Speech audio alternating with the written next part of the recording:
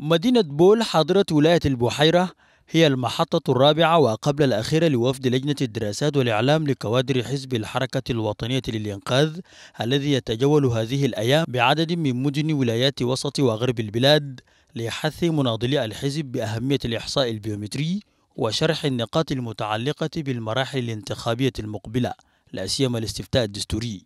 هذا وبعد أن استقبل الوفد من قبل مناضلي الحزب في مدخل المدينة توجه إلى مكتب حاكم الولاية الجنرال جبرين راتو باعتباره المسؤول الأول عن الولاية لإخطاره بهدف البعثة التي جاء من أجلها إلى حاضرة ولاية البحيرة.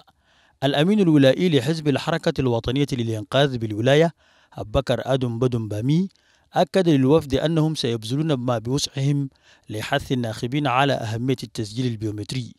وعليه خاطب رئيس الوفد محمد المستور المناضلين وأكد لهم أن المرحلة الانتخابية المقبلة تتطلب المزيد من التنسيق وتضافر الجهود لتحقيق الهدف المنشود. شدوا حيلكم الناس اللي قاعدين في الجزر داخل في الإيل في الوديان في أي مكان وصلوهم عشان يشيلوا الكرت الإلكتير دي. لأن باكر هم بيختاروا الناس اللي بيمثلوهم سواء في البرلمان أو في المجالس المحلية. وشدد أعضاء الوفد على ضرورة توعية الناخبين حول مراجعة السجل الانتخابي بجميع مناطق الولاية لتنجز فرق الإحصاء خلال الفترة المحددة مهمتها بشكل جيد.